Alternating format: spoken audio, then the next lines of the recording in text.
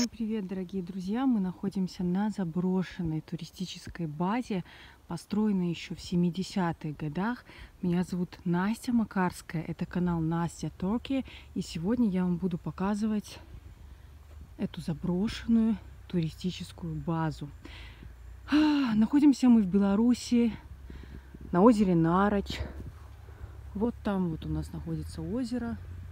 Замечательное, очень красивое место. Сейчас это санаторий Нарочанка, но саму туристическую базу, сам, сами вот эти домики, они заброшены, они уже все в аварийном состоянии, и их не сносят. Немножко расскажу про законодательство вообще в Беларуси и про отношение к белору, белорусов к вот таким вот местам. Дело в том, что если в России еще в других странах все это взламывается, все это вероломно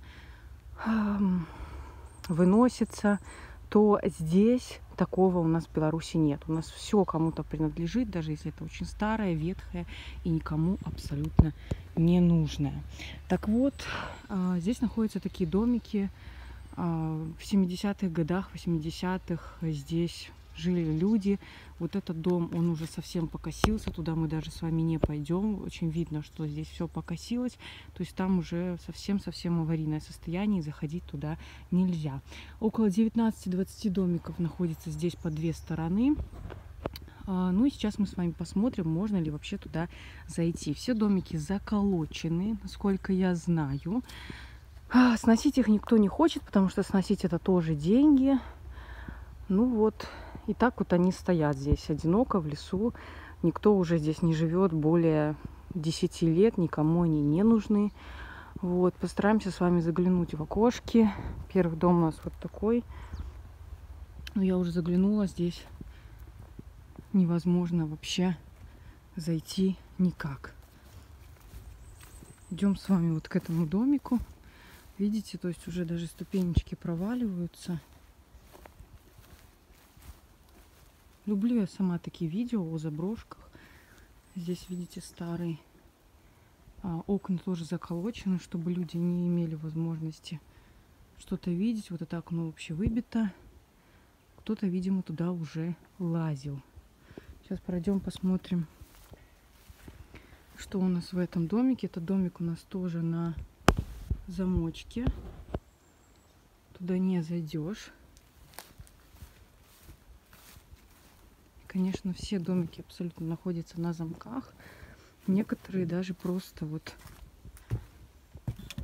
видите, они просто закрыты с внутренней стороны. И их никак не откроешь. Вам покажу комнату, классно видно. Видите, что осталось из мебели? Матрас, а вот такая советская полка, стол, стул. Так, что в том углу у нас находится? Так, видно, нет? Вот так вот. Какая-то кровать перевернутая. Вот.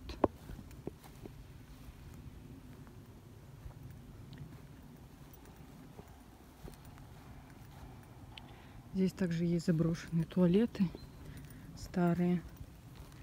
Вот они здесь находятся. Даже заходить туда, честно говоря, страшно. Два вот таких туалета и вот такие МЖ, уже более такие современные, так скажем, годов, наверное, 80-х, 85-го постройки, вот такие типа душевые и туалеты для тех, кто живет в таких домиках, потому что в домиках, естественно, нет никаких ни туалетов, ни душевых, ничего. Вот. Еще лет 10 назад, когда-то, а, я хотела приехать в один из таких вот туристических баз Беларуси. Мы приехали, чтобы заселиться. Мы посмотрели, что состояние домиков ужасное, все совдеповское, советское, просто даже не остались. Вообще ни на один день сразу же уехали, потому что в таком, я считаю, что состоянии вообще базы продаваться вообще не должны. Сейчас посмотрим, что внутри. Вот видите, кстати, печка есть, топится, то есть домик. Вот дальше у нас полка старая. Вот видите, такие обои там.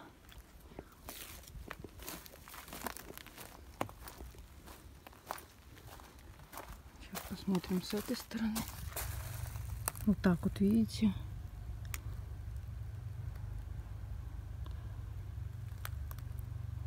Вот так вот все выглядит. Комнаты такие. Надеюсь, что вам видно. Вот эта печка. Но, видите, пол уже рассыхается весь. Пол рассыхается, но, видите, мебель даже есть. Здесь, так понимаю, раньше была какая-то площадка детская. Нет, волейбольная площадка. Видите, кресло такое сверху. Это была волейбольная площадка. Раньше когда-то, в советские годы. А вот что это за здание, я пока понять не могу. Там есть дырка, поэтому мы с вами зайдем, посмотрим. Аккуратненько проходим, чтобы нас никто не заметил, кстати. Даже ягодки еще есть. М -м -м. 20 сентября у нас 25 градусов в Беларуси. Так. Так, что это за домики? Я даже не могу понять, что это такое. Они все отмечены, 22. В них есть вот такие дырки. Здесь вообще, конечно, очень страшно. Все разрушено. Мусор. Страшно туда идти. Ребят, я даже не знаю, что там.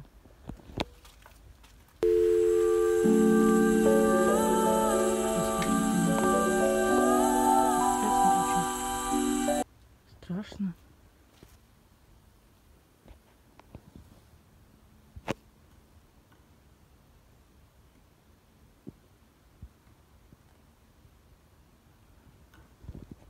Здесь какая-то комната вся исписанная. Смотрите. Я даже не знаю, это, видимо, еще одни какие-то домики были. Более еще старых построек. Вот такая мебель. Все исписано. Натусик, Ирен. Кошмар. Очень страшно. Я с фонарем.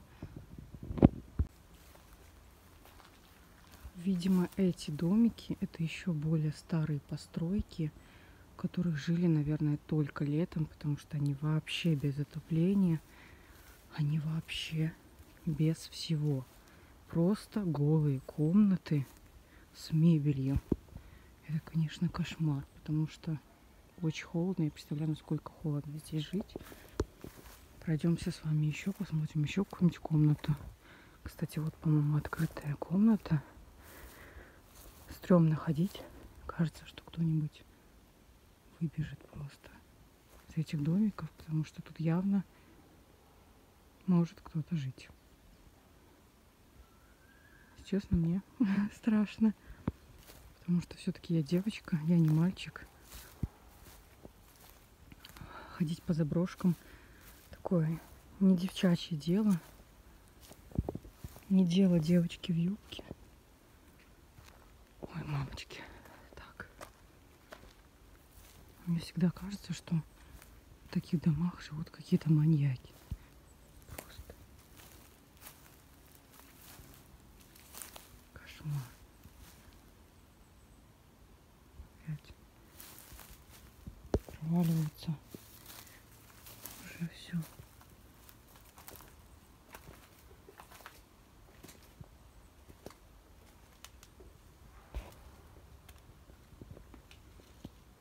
Смотрите, какая комната. Потолок весь вот такой. 70-х годов, конечно, тут мусор. Кто-то тут уже, видимо, бухал. Матрасы валяются. Кошмар. Кошмар. Это реально очень такое зрелище. Я всегда, когда смотрю какие-то заброшки, мне всегда страшно и жалко за то, что пропадают. Если за ними, конечно, следить, было бы все замечательно. Есть еще одна комната. аварийное, все настолько аварийное состояние. Видите, в таких комнатках жили по два человека. Здесь стояло две кровати и один шкаф. Вот в летнее время, я думаю, что люди здесь когда-то в 70-е, 80-е годы здесь жили. Окна выбиты. Здесь какие-то даже еще лампочки, остатки от лампочек. Ой, как жалко, конечно. Как жалко, что все это уже пришло в некую негодность.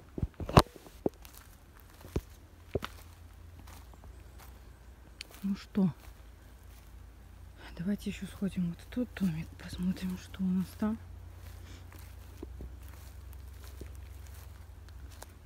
Какие-то отголоски, конечно. Отголоски Советского Союза всегда.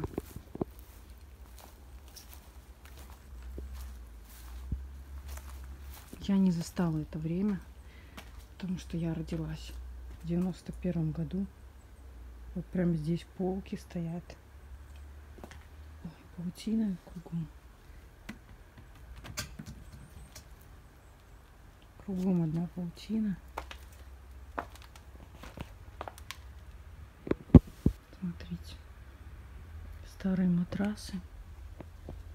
Старая кровать одна. Вторую, наверное, уже вытащили. Ничего такого интересного тут нет.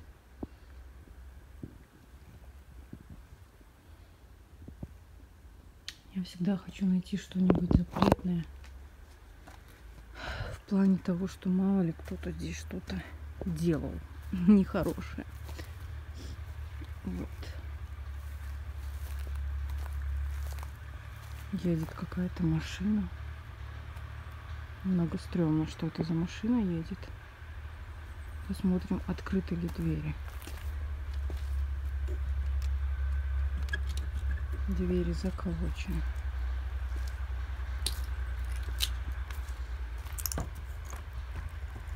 Двери заколочены. Зачем заколачивать двери, если все равно тут ничего нет? Меня это всегда интересует, зачем это делать. Ну что, дорогие друзья, вот такой вот у нас был обзор по заброшенной туристической базе которая когда-то называлась Нарочанка. Сейчас это все заброшено, и рядом находится новый санаторий Нарочанка. А вот это все находится в таком вот аварийном состоянии заброшенном, никому не нужном. Вот такие отголоски Советского Союза. Я прощаюсь с вами и отправляюсь гулять в лес. Всего хорошего и пока-пока.